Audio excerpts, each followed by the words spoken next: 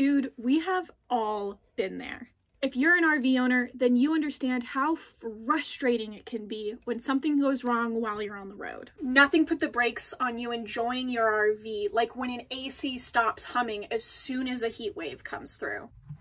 Or a fridge starts making an ungodly noise as soon as you sit down for dinner. But where's the best place to take your RV to get it repaired? Should you take it to a dealership or hire a mobile RV tech? Spoiler alert, I think you should hire a mobile tech but let me tell you why. First off, convenience. You know when things always break in your RV? At the most inconvenient time possible. It's Murphy's Law, I swear. It's always right after you've poured that mimosa that you've been thinking about all week or right after you set up for the vacation of a lifetime. This is where mobile techs shine, my friend. It can be a huge hassle to pack up your entire rig just to drive to a dealership for repairs. And depending on the severity of the issue, you might not even be able to drive safely. With a mobile tech, you can get your RV repaired right where it's at without ever having to put down that mimosa. This can save you time, money, and stress and get you back to enjoying your RV as smoothly as possible. Another advantage to using a mobile RV repair tech, expertise.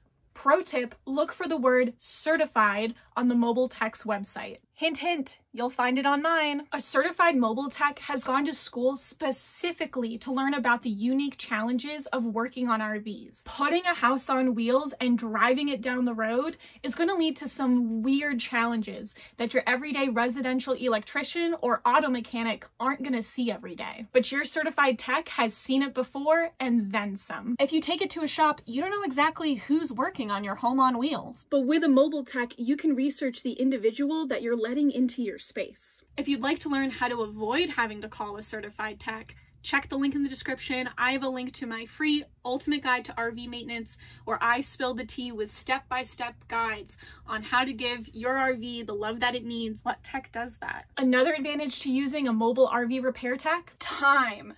This is the big one, guys. Dealership service shops can have waitlists that are weeks long. And then once they have your rig parked in their lot, it can be waiting there for months until it gets back to you. Mobile techs, on the other hand, tend to have shorter waitlists, sometimes getting you in same day. We drive around with the parts in our service vehicles to solve 80% of the problems that we run into. And if you do need to wait for a part to be ordered, you're waiting with your rig not in a hotel room somewhere. You can still be on vacation. If you really want to save some time, go ahead and hit subscribe. It takes less than a second because I come out with new videos every week on how to do repairs in your rig all by yourself. And finally, this might be the one that people care about the most cost. Dealerships often charge a premium for repairs, and you might end up paying for services that you don't actually need. Your mobile tech is standing right in front of you. I have heard so many stories of people sending their rigs into shops, getting them back months later, and not having the thing they wanted solved solved. With a mobile tech,